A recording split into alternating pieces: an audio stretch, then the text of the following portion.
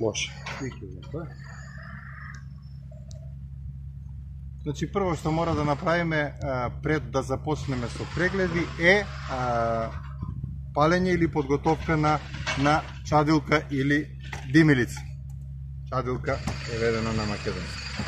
Како гориво треба да се користи нешто што не дава пламен, а гори, чади. Да ствара што повеќе чад и да трае подолго време. Најдобар е труд од букови дрва, меѓутоа во недостаток може и некое труло, било какво дрво, еве овдека имам некоја врба трула, е, кое што сум ја спремил. Може лепешки од говеда, може ако во нужда немаме што некое суво лисје, шишарки од иголисни дрвја, иглички од иголисни дрвја и така на.